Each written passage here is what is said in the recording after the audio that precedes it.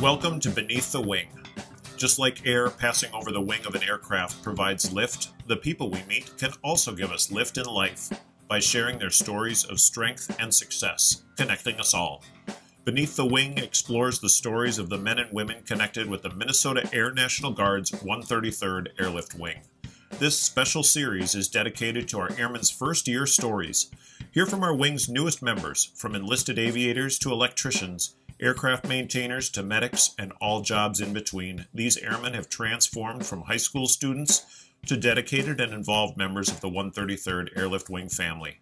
In their own words, they'll share how they chose their military job, the connection they have with the team, and how they've changed from young civilian to American airman. I'm your host, Wing Command Chief Mark Legvold.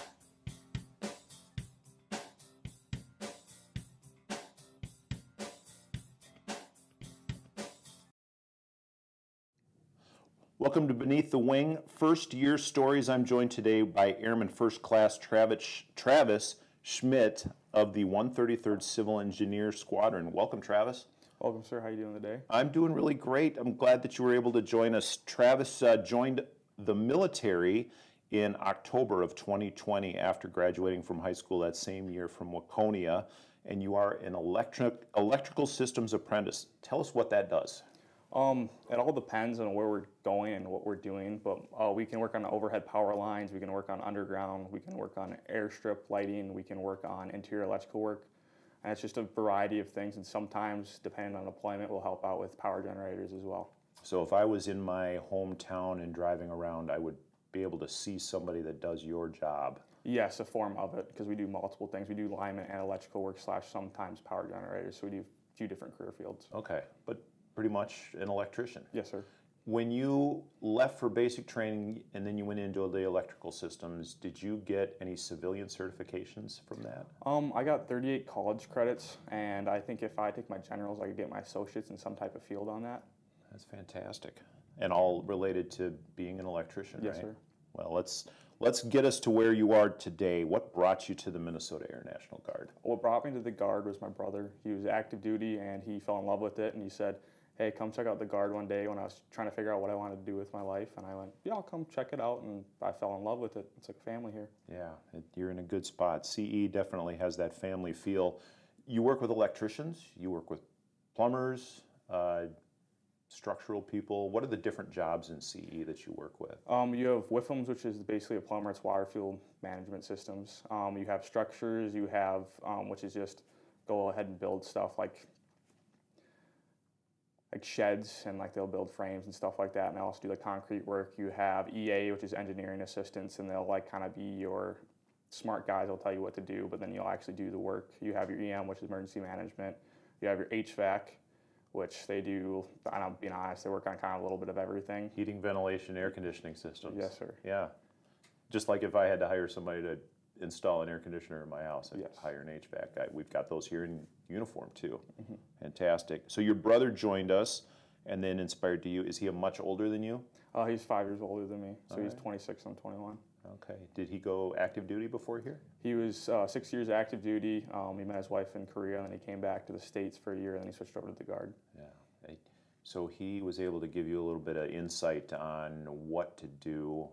He went active duty first and then joined the Guard. You just joined straight in here to the Air National Guard, right? Yes. Why did you choose this route?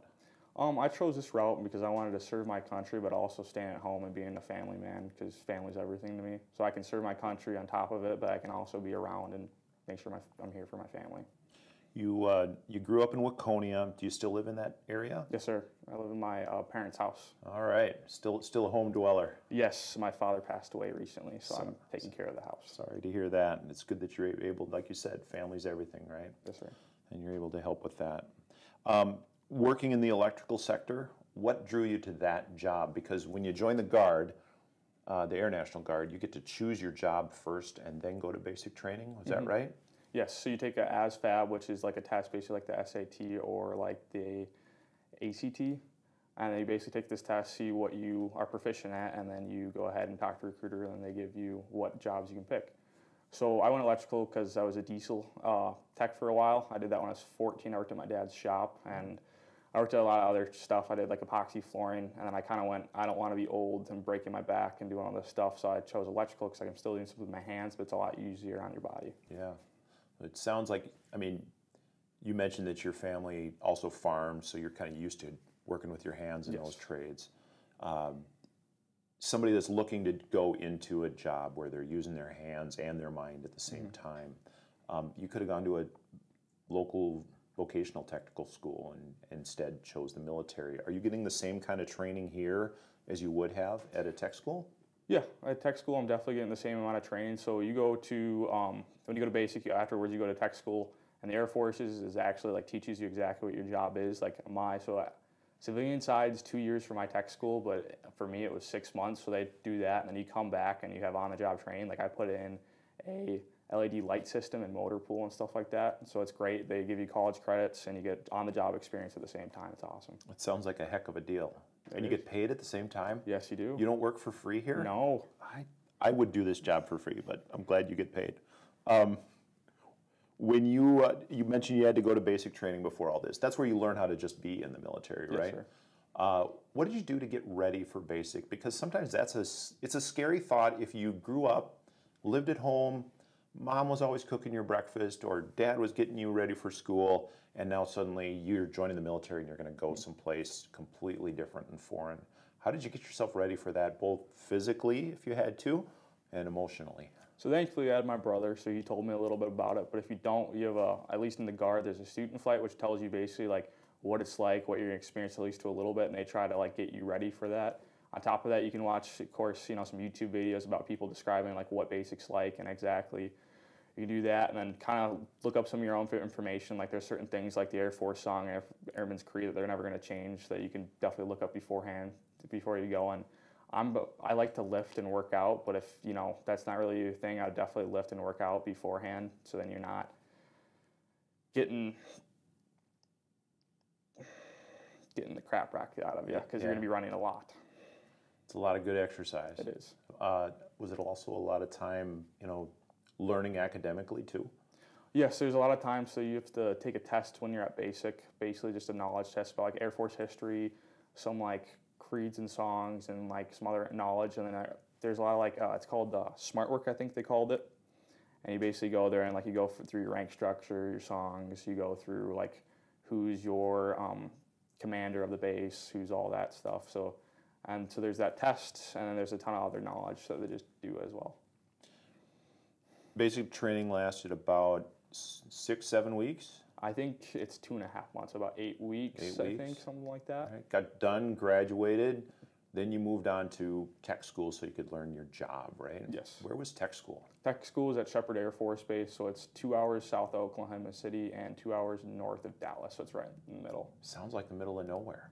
Yeah, but you get some friends and you make some memories. Yeah. Uh, what did you enjoy most about tech school and learning your job?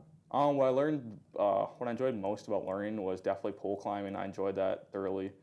Um, the best part of tech school is just making friends. I think my favorite memory was when uh, Thanksgiving we were away and we went hiking up in the mountains, and our Thanksgiving meal was spam, baked beans, and Polynesian sauce mixed together, because that's all we brought for basically the hike.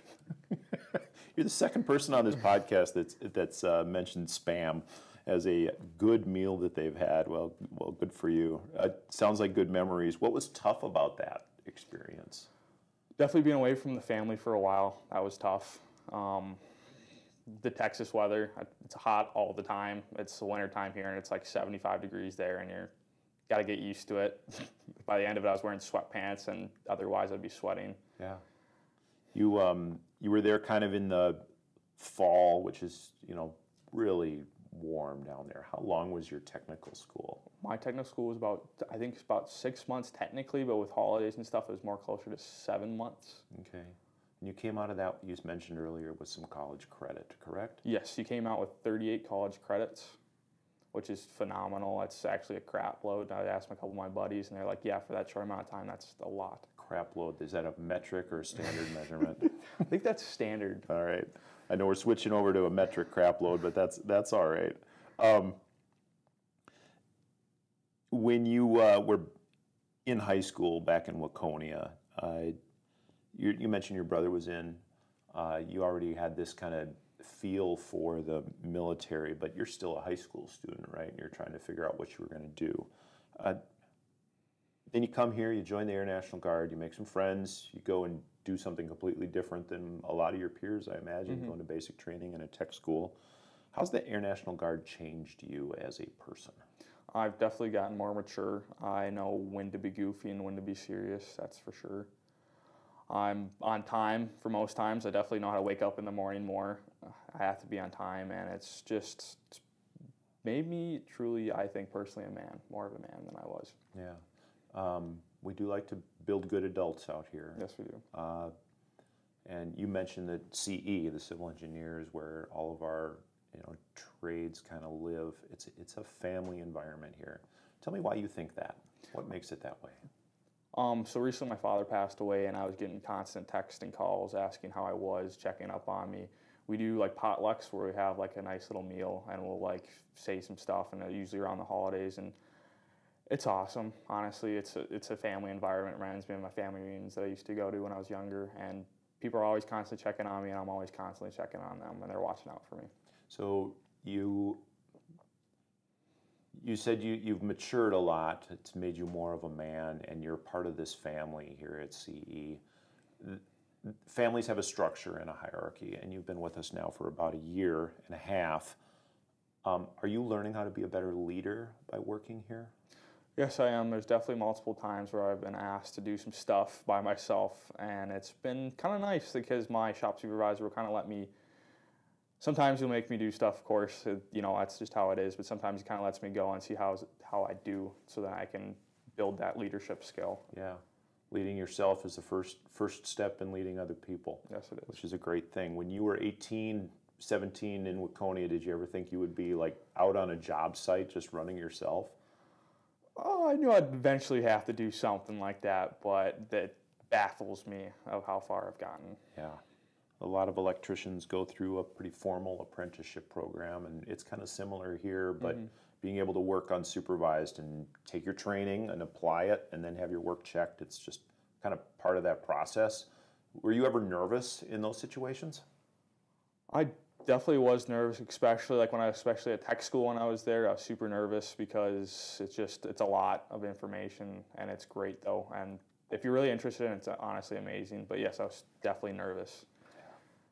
But that's the greatest thing is I can ask someone about it if to check my work, which is awesome. Yeah. In, in about a year or two, you're going to start supervising other human beings, which is kind of daunting, but at the same time, you're going to be able to bring that experience of a little bit of that insecurity or the fear, and you can just share that with them and, and make it real for them. Uh, all the lessons that you get to learn as a 19 year old, and pretty soon somebody else is going to be 19 and you're going to be the old guy uh, teaching them. That'll, that'll go a long way. So you've overcome a lot in your first year. Um, the military has taken some good care of you. Uh, what's been the hardest thing that you had to overcome as a part of your first year in? Um, military wise, it'd probably be when I I tore my pec. On military duty? Yes, on military duty. What were you doing? I was actually so what I was talking about when I was I love pole climbing, or well, aka um, so it's when I was doing a lineman segment. As I was down there in Texas and I was um, climbing poles for on the job training, we were putting up. Um, what am I thinking? We're putting up power lines, we're putting up transformers and all that stuff, and I was climbing the poles because usually you have a bucket truck, which then you go up in a bucket and you do that, but we had to learn um, how to climb with basically just uh, spikes on your boots and like a belt around it, and so you climb the pole. And when we did that, uh, what happened was is when I kicked in, a chunk fell out, and I basically fell like wonky. And uh, of course, the safety stuff caught me, but when my arm did, it kind of twisted it weird, and then I tore my pec. I bet that was scary being up, up high and suddenly you're, you can't really move the, was it the right side, left side? My right side. Right side. Um, how'd you get down, first off? I actually got down and pretty quick. I'm not gonna lie. I felt I felt like it hurt. So imagine like a bruise. You're like, oh man, like whatever, and you got on the ground. You're like, oh, it's probably fine. And the next morning, I woke up with everything like super bruised, and I go, yeah, I should definitely get that checked out. Yeah. so you had to go in and see a military doc? Yes. Okay. In a military medical facility? Yes, sir. How was that experience? Because I mean, you grew up probably just seeing your local hometown doc, Mm-hmm. and now you know it's a little different in the military where we have our own medical technicians, we have our own doctors and nurses. Was it different? It wasn't. It wasn't in the same sense. Like they're kind of like they're not CE, but they're definitely family. They're wearing the uniform and they take care of you. They make sure you're doing good. They ask you uh, how you're doing and everything. And it was it was a good experience. I enjoyed it actually. Yeah. Um, so obviously, could you finish your training while you were down there at Sheppard, or did they just send you home because you got hurt? Um, I could finish my training, so thankfully I was part uh, done with my physical part of like the where everything was like heavy lifting and like all this stuff. So it's more of like we moved into more hands-on, like smaller stuff, so I could do it. Thankfully, otherwise I would have to. I think I would have to get my surgery down there and stay down there for a little bit until I'm all healed up, and then they would finish me through tech So they would have taken good care of you physically and then Yes. let you finish your training and then send you on back here. Mm-hmm. Once you got back to our base, back to your hometown CE family, Mm-hmm. um, you've stayed here for a while through your recovery, right? Yes, I've been on orders probably for about almost to- technically total like a year and a half because I went through basic tech school on the job uh, training, which is like 60 days. I had like a month in between, and then I had my surgery. Great. And through the, all that time, you're putting a uniform on, coming in here, and doing some light work, not injuring yourself. But Yes. you also got paid to do your recovery piece, Yes. right? Physically. Which is awesome. They paid for my surgery and everything, and they made sure I was well taken care of. Yeah. And once you got back from your technical school, you also had more academic learning to do here, right? Can you just explain how we, the the military, especially in the, the Air National Guard, get somebody from knows nothing about it being an electrician all the way up to where you have um, achieved now?